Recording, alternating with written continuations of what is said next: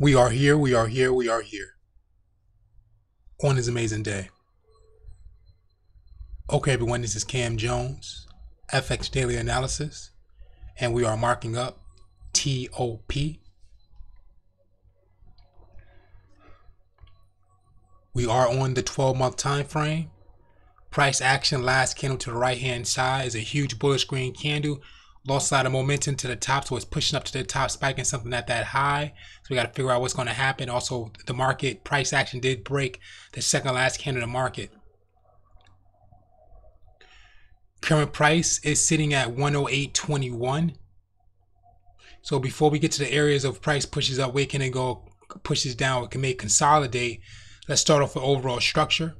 So we can see prices sitting at 105 0.21. If we go back to the first candle, we are looking for solid structure for highs and lows, uh, red and green. So we're going to grab that red and green to the low. So we can see that the market did spike that low. The numbers of 4.5, say 59.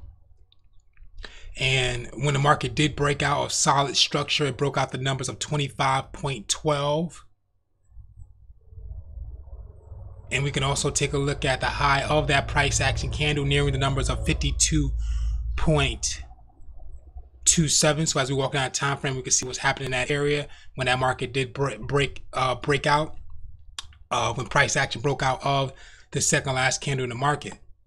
So going back to price action, as I said before, sitting at 108.21.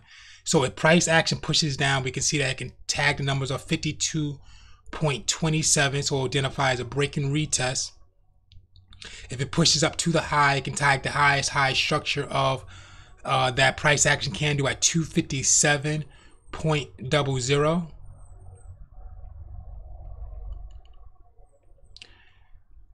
The next area we're going to tag is we're going to bring the midpoint from the high and the orange SR lines, which be near the numbers of 144.03. Also, if price action pushes down further, we're going to track that midpoint between current price and midpoint of the low SR line that we are near. So price can come near the numbers of 80.38. So let's talk about what's happening, what happened in the market. So basically, when the market started off with price action, it consolidated sideways. So it worked its way sideways for that consolidation. It did spike up once with the price action candle, came back down, and the price action, uh, I should say, the second last candle did spike up once. Price action came back down, so it should be identified as a break and retest or some type of pattern in that area and then which went between the orange SR lines as we walk down the time frame. And then the market spiked up to a high of overall structure of 257.00 and lost momentum and came below the midpoint. So once that market broke this area, we're going to see if it's going to come back for a retest or work its way up further, or it's going to consolidate sideways or drop back down to the beginning of beginning of the market walking down to the six month time frame. So price action on the six month time frame reading as a bullish green candle. Let's take a look at what happened. So the first candle in the market basically is a bearish red doji cross. So it's a weak candle, consolidated sideways. Second candle market spiked down, then it market pushed up. So basically coming from a first leg and the second leg was the breakout. So we're gonna see if we're gonna where the identify the third leg, and we're gonna see if it's gonna push up further for that double bottom three month time frame. So price action on a three month time frame. Same candle, bullish green candle, spike up to the high, tagging a high, came from a low. Let's look at the direction of the market once again. We did receive a first leg and still receiving that breakout. But let's see if the market is denied somewhere in this area that drops down. It can be a, it can be a overall structure of a double top. So let's say if you draw drew out imaginary lines coming up uh, and green for that first leg, second leg, third leg, create that double topping, land back at the previous areas, and you see that double top formation. Working our way to the monthly time frame, so price action monthly time frame as well. Bullish green candle spike up to the high. Market consolidated, pushed up. The top, got to wait to figure out what's going to happen. So right now, give you an idea, price action is in the mid range between the SR lines of 144.03 and 80.38. So anything happening in that area could be consolidation until we see the breakout or the break up to the upside or down to the downside side unless we receive consolidation or a pattern that's forming in that area. So working our way to the weekly time frame. So price action on the weekly time frame. So let's go back to when the price started off, market started off. So we see that the market spiked off. So imagine the market coming from a low, spiked up to a high. We did receive a first leg, second leg, third leg. Market created that double top, came back to the previous formation, consolidated, consolidated sideways. So that means a pattern was formed very tight, and then it broke up to an upside. As I said before, lost momentum. Try to see what's happening. You, you, uh, next, don't see a retest yet in the area of the SR lines that we divide walking down to the daily time frame. So okay, price action daily time frame is reading as a huge bullish green candle, still spike up to the high, spike up to the low, very high spike up to the high. So it means the market could be consolidating, retesting, but we don't see any of that yet. We're gonna keep walking down the time frame. Until then, let's walk over to the second last candle on the daily time frame. We're gonna grab that candle a little bit above, a little bit below.